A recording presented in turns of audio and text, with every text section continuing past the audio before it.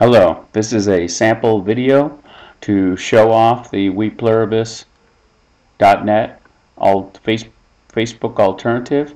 Uh, when you first log in, you're going to be looking at the forum, which is a shared space where everyone who's a member of WePluribus, all their posts are, are showing up here and we can see what those are. And just like Facebook, we can like or make a comment on it. Um, so it's very much like a Facebook experience. Instead of having a wall, you're going to have a home page.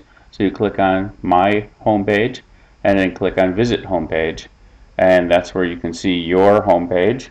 So it's very much like Facebook. Again, you've got friends, you've got a home page, you've got a wall here where I can post things on there for my guy, Mr. Test Guy.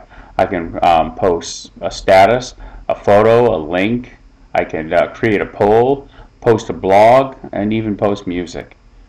That's all for this time. I'm going to do a lot more of these to show you all the features of WePluribus.net.